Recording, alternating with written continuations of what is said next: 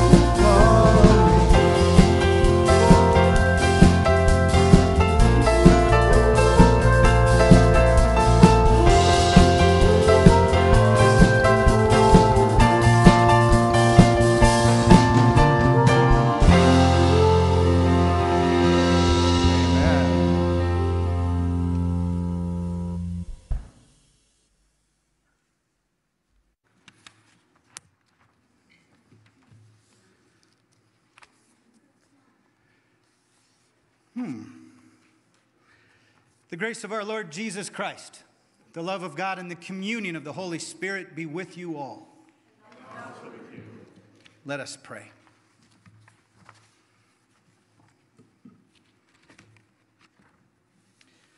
Blessed Lord God, you have caused the Holy Scriptures to be written for the nourishment of your people. Grant that we may hear them, read, mark, learn, and inwardly digest them. That comforted by your promise, we may embrace and forever hold fast to the hope of eternal life through your Son, Jesus Christ our Lord. Amen. We gather as one body witnesses to God's love for all of humanity, one family. Throughout the season of Epiphany, we will confess our faith using one of the church's earliest creeds. Please join me. We are all children of God through faith in Christ Jesus. For all who have been baptized have put on Christ. There is no Jew or Greek, there is no slave or free there is no male or female, for we are all one in Christ. True unity comes when we realize we are deeply connected and stand in solidarity. Our baptism is an end to estrangement both from God and neighbor. There is no us, no them. Everyone is a child of God. You are a child of God. We are all children of God. Hallelujah. Amen. I invite you to be seated.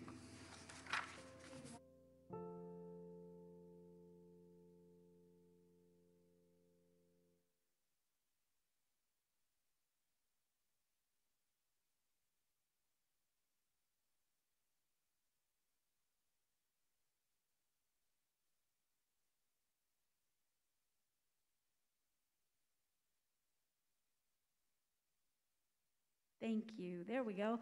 Welcome. Children, please come join me for our children's message this morning. Come on up and help me. All right. So I have a bag of useful things. Shalom, I need your help again. I need your help. You were so helpful the first service. um, um, so I have a bag of useful things that I need your help with this morning, okay? And we can have everybody in the congregation help us. All right, so the first useful thing is what? What is it, Demba? A brain boot, right? And would these, I bet these would be super helpful in running a race. Think? I'm seeing some heads shake no. What do you think they'd be helpful for? What would they be useful for? The rain, that's right. They'd be useful for stopping in puddles and, and having fun in the rain, right? Well, I have another useful thing. How about this one? Is this one useful for walking in the snow? Climbing mountains, maybe? Well, what, what is this one useful for? It's a high heel. We, where would we wear this? Noah, where would we wear this, do you think?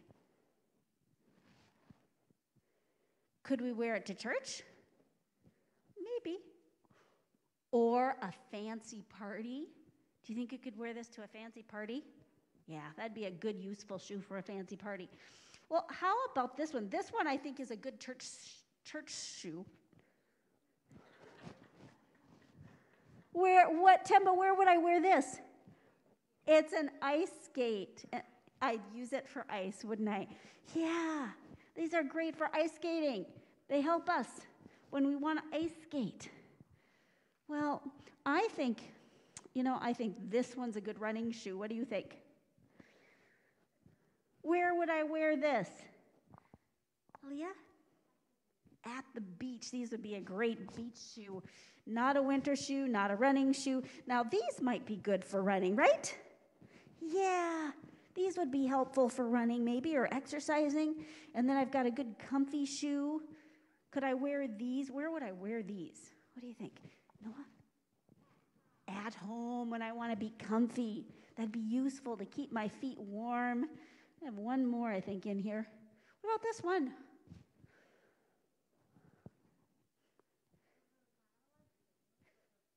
Yep, they're kind of like a flip flop, aren't they? They could. You could also wear them at the beach or at the pool. Good summer shoe, not good for winter, right? No. Well, all of these things are useful and they help us. They help keep our feet safe and protected for the right things, right? If we wore one of these in the snow, that might not keep our feet very warm, would it? Um, yeah, last week Pastor Dave ran through the snow with shoes that weren't real great for the snow. And he kept having to empty out the ice from his shoe. I thought, hmm, that these would not be good for that. Well, did you know what? The church is like a bag of useful things. Did you know that? That the church and all the people are like are like all these shoes, all these useful things. Because each one of us is different, right? We all we look different. We have different gifts. Some of us play beautiful music. I can't even read music. Um, some people draw beautiful things or decorate beautifully. Some people give great hugs. Some people aren't really crazy about hugging. So we all have different gifts. And you know what? God made all of us with all of our different gifts to make the world a better place and to share all of our different gifts with the world around us to make the world a better place. Isn't that cool? God was really wise. Well, I want to give thanks to God for all the gifts that God has given us in you because you are a precious, unique treasure that is given to the world to make the world a better place. And I thank God for that. Will you join me in prayer? Let us pray. Repeat after me Dear God, thank you for shoes. Please protect the feet of those who don't have shoes. Thank you for our gifts and help us to protect and care for the world and all your people to make this place a better place. Through Jesus, we pray. Amen. Thank you for coming up and helping me with all of these things.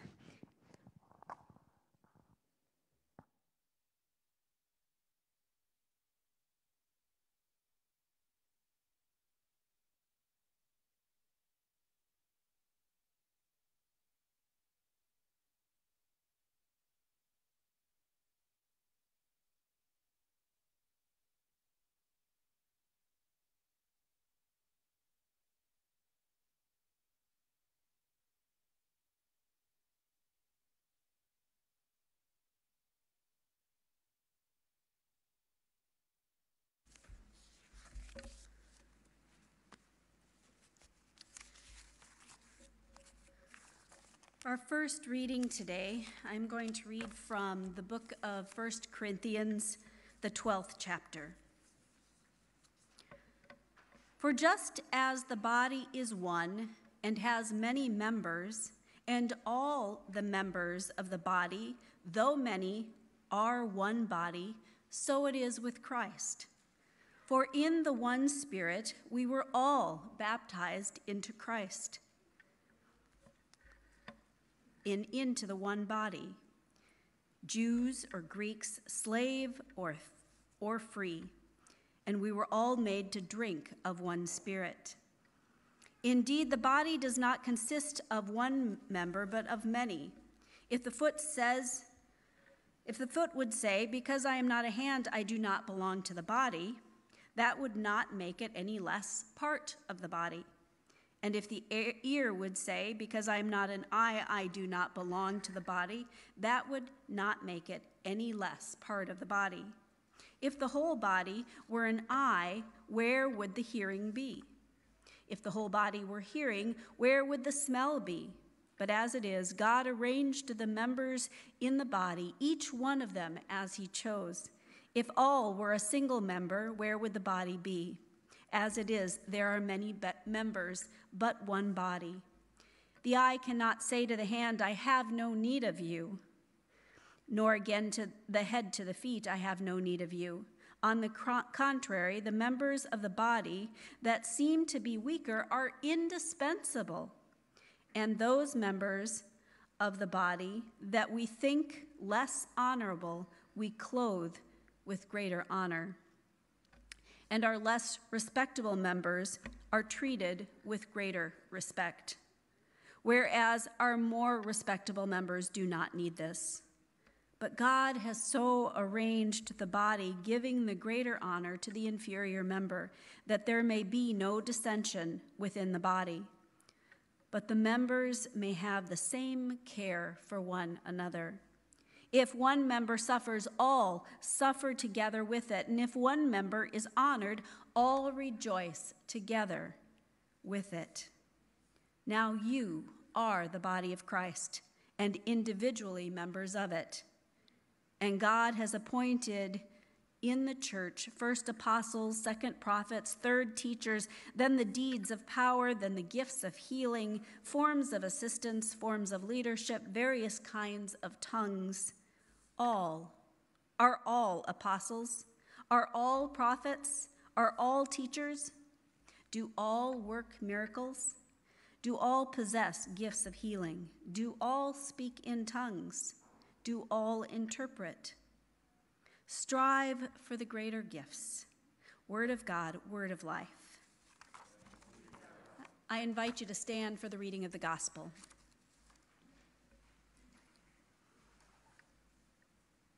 The Holy Gospel according to Luke, the fourth chapter. Then Jesus, filled with the power of the Spirit, returned to Galilee, and a report about him spread through the surrounding country. He began to teach in their synagogues and was praised by everyone. When he came to Nazareth, where he had been brought up, he went into the synagogue on the Sabbath day, as was his custom. He stood up to read, and the scroll of the prophet Isaiah was given to him. He unrolled the scroll and found the place where it was written The Spirit of the Lord is upon me because he has anointed me to bring good news to the poor. He has sent me to proclaim release to the captives and recovery of sight to the blind, to let the oppressed go free, and to proclaim the year of the Lord's favor. And he rolled up the scroll, gave it back to the attendant, and sat down. The eyes of all in the synagogue were fixed upon him.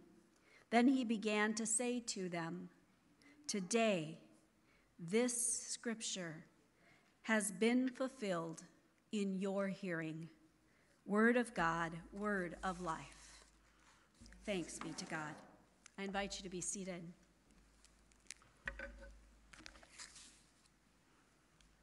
Grace to you and peace from our triune God, Father, Son, and Holy Spirit. Amen. While I was studying these texts and reading various commentaries this week, I ran across this, um, this commentary or sermon or writing um, by a priest, Michael K. Marsh, and I was struck by these words. He writes, While politics may not be an appropriate uh, um, topic for polite conversation, I don't think it can be avoided in a faithful conversation. And here's why. Regardless of what politics might mean today, and regardless of how it is practiced today, its most basic concern is about the ordering of relationships. It's about the way we live together and get along. It's about people. Those concerns are central to the practice of Christianity. We believe that God has something to say about how we live and the way we relate to one another. We open ourselves to God's ordering of lives, of our lives, and our relationships. And in that regard, the incarnation, that is, the embodiment of God in humanity, is a deeply profound political statement. The life of Christ is a political statement that reorders our relationships with God and with each other.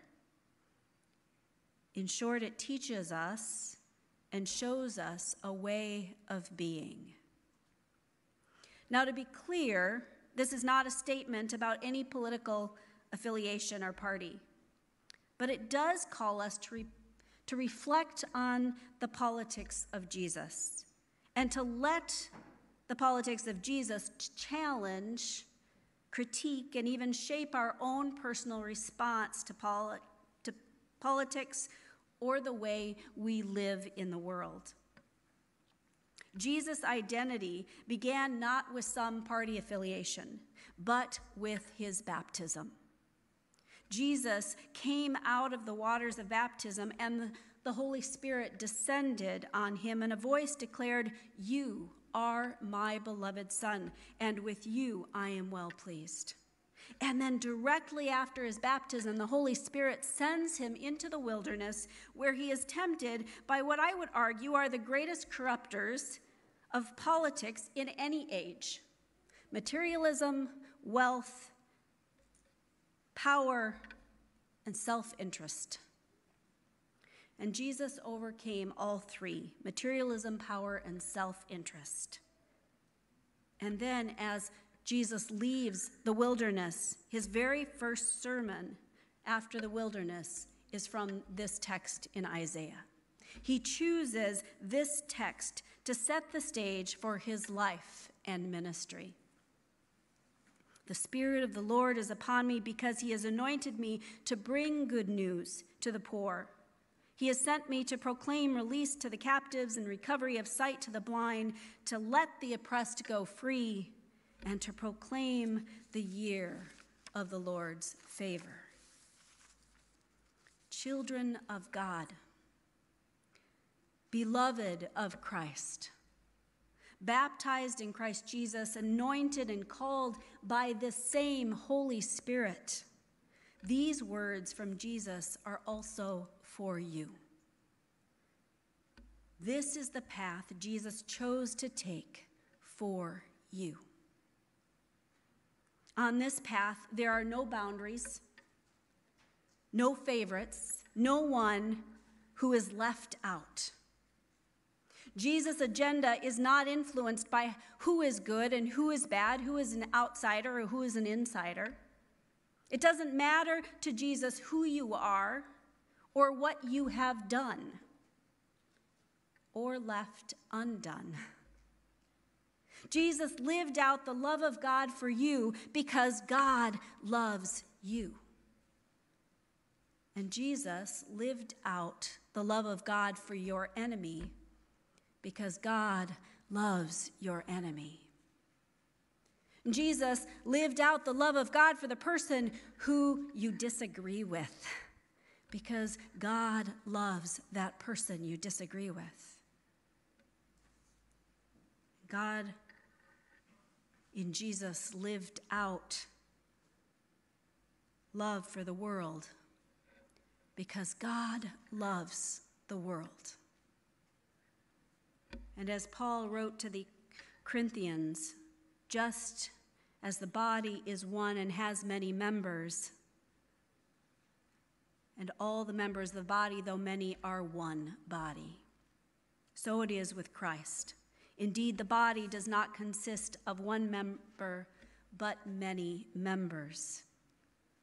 And all of you have unique and precious gifts. The eye cannot say to the hand, I have no need of you, and the members of the body that may seem weaker are indispensable. And those members of the body we think are less honorable, we must clothe with greater honor. This is Jesus' politics. And Paul goes on to say, God has so arranged the body, giving the greater honor to the inferior members. If one suffers, all suffer. And if one is honored, all can rejoice together. At the heart of Jesus' politics is this question Where does it hurt? Where does it hurt? This is the question that drives and directs Jesus' life and ministry. If there is hurt, that's where Jesus goes. So we might ask ourselves how is our church's mission similar or different from Jesus's? Should it be the same? Should it be different? Jesus was willing to break chains that held people captive. And it is because of his willingness to break open these systems of oppression and pain and sin that Jesus was arrested and nailed to the cross for us. Not only did Jesus' words and life declare God loves you for who you are, not what you have done, not what you do, not what you earn, not how powerful you are. But these words also are a gift to us because they set the stage for our own lives and ministries in the world. Because each one of us is created with a unique and precious ability to make a difference in this world, to make a difference in the lives of those who are hurting. In Luke 5, Jesus says, Those who are well have no need of a physician, but those who are sick. Where does it hurt? Are we willing to go there with Jesus? You see, everything that Jesus did from that moment on was grounded in the context of freedom for the oppressed and new life for those bound by sin, bound by this world. And so I ask you, followers of Jesus, do you want to see our world transformed? I would suggest trying to begin your day by asking this question Where does it hurt today? If we entered every difficult or divisive situation with that question, how would that transform that situation? If we let that question be our guide, how would that transform our relationships? Think about the places where you get the most irritated or where you let your anger stew a little longer. I asked this question of our confirmation students this week, and we, we talked about how the people closest to us, and our families, our coworkers, our friends, it's in those places where we feel the pain most closely or deeply. And we also let that anger flare more easily. We get irritated more easily. But what if we began our conversations or our responses by wondering what is hurting in the other person? Would that change our response? No matter where we turn, there's hurt in the world. Sometimes big hurts, sometimes little hurts. But if we began every day by asking God and Christ to help us respond to the hurts in our own little piece of the world, how might that response change or transform someone else? It's about the way we live together and how we get along. It's about people's lives lived out in a way that reveals that God is present and God loves the world. Last week on Monday, which was Martin Luther King Day, I was listening to a story on the radio And it was a story about people whose lives had been shattered by someone who chose hate and violence. And yet, the people whose lives had been ruined and shattered by this violence saw the hurt in the person who chose hate.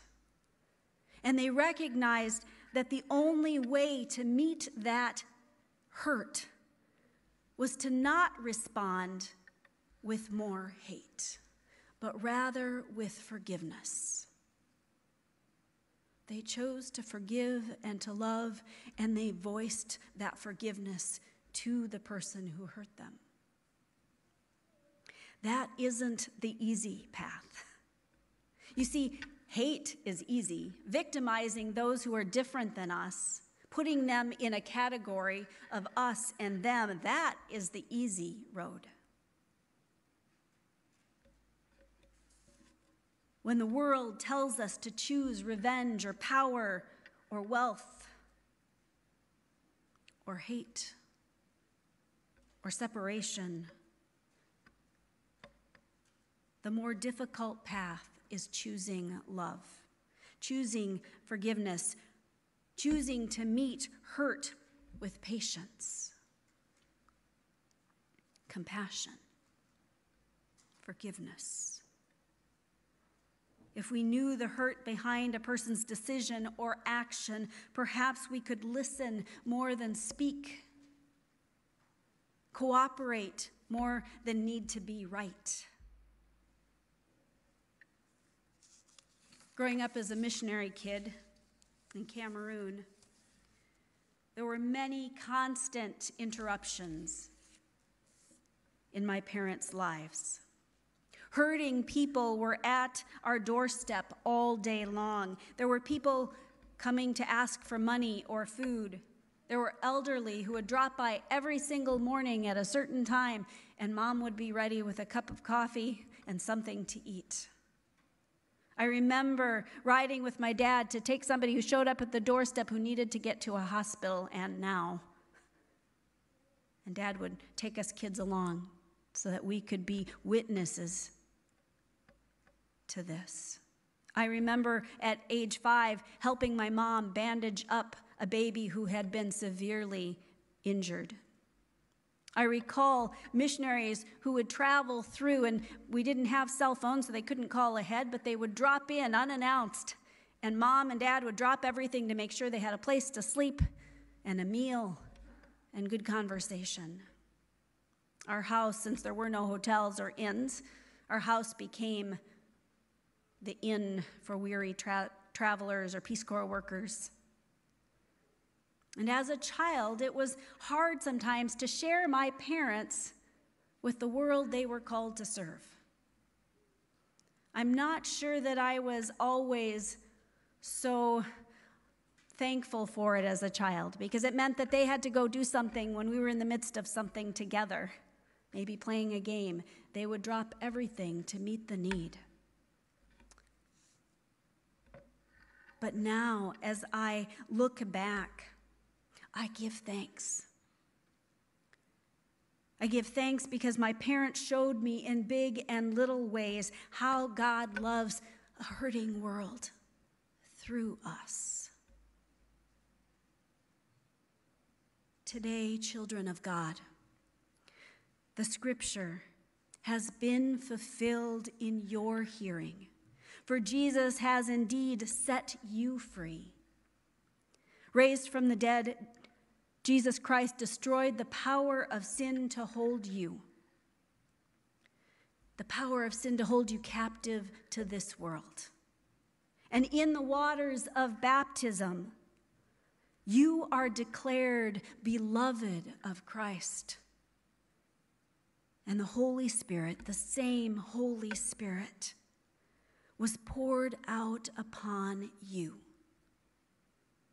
to bring release to the captives, good news to the poor, sight to the blind, freedom for the oppressed, and to declare that this year is the year of the Lord's favor.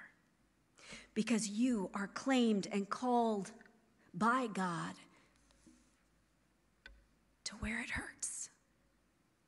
And the joy of the Lord is your strength. Thanks be to God. Amen.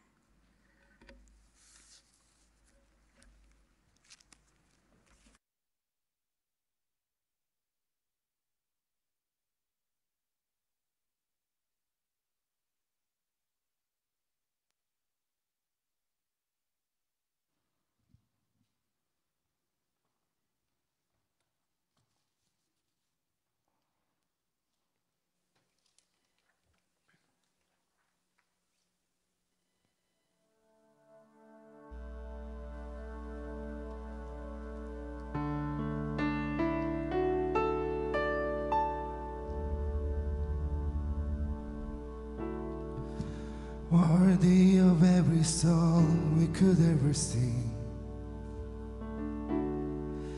Worthy of all the praise we could ever bring. Worthy of every breath we could ever breathe. We live for you.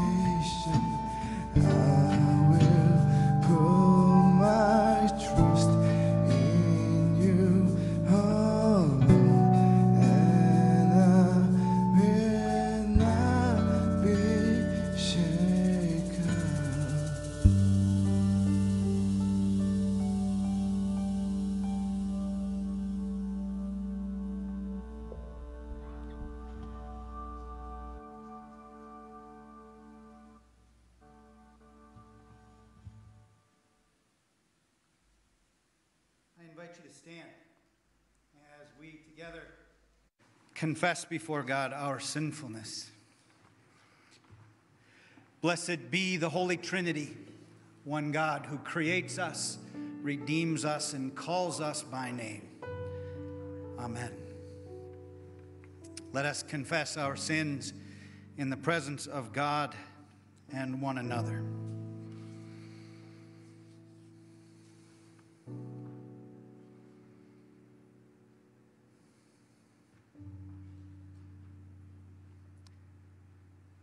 We confess our struggle to love our neighbor in word and deed.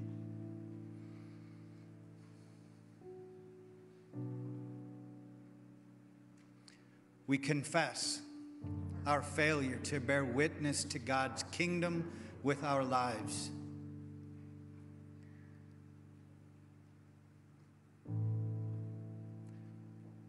We confess our desire to put our will before your will.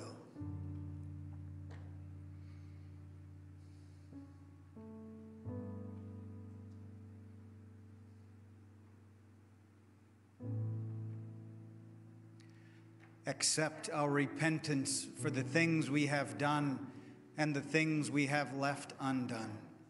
For the sake of Jesus Christ, have mercy on us. Amen. Rejoice in the good news. In Christ Jesus, your sins are forgiven.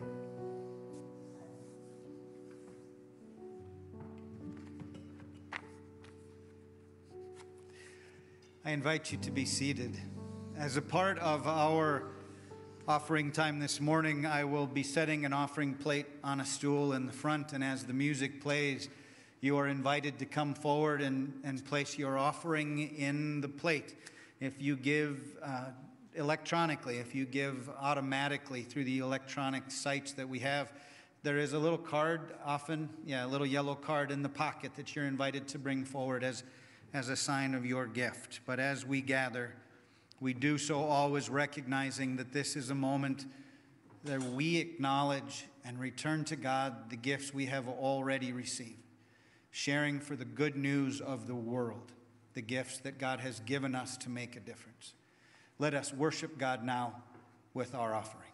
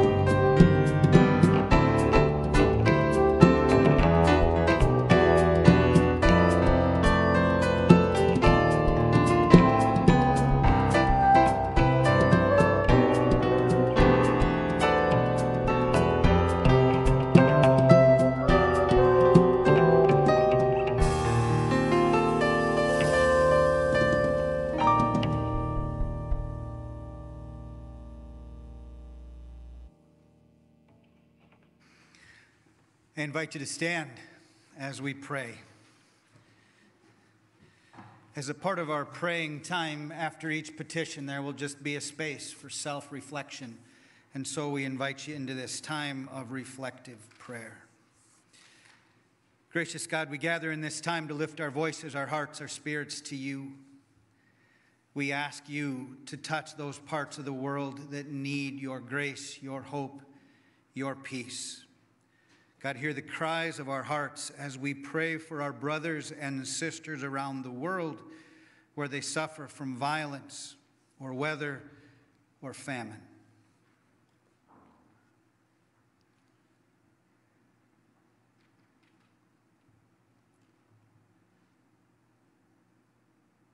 We pray for those who struggle in body, mind, or spirit remembering today especially Michelle and Dean and all we name before you in our hearts or out loud.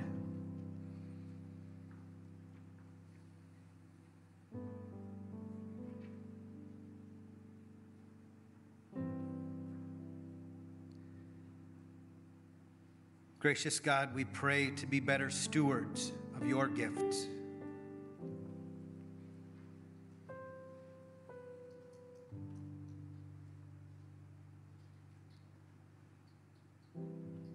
Gracious God, we give thanks for those who witness to your presence here and now.